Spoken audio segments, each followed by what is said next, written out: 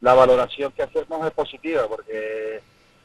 casi todo ha salido como, como lo teníamos previsto, se, han cumplido los horarios como teníamos previsto, incluso las aperturas de carreteras previstas han sido mayores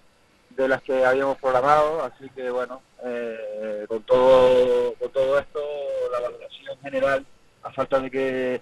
nos reunamos un poco todos los que hemos estado al frente de, esta primera edición del Rally Príncipe de Lucas y saquemos las conclusiones definitivas, eh, a día de hoy todavía en caliente nos, nos parece que ha sido un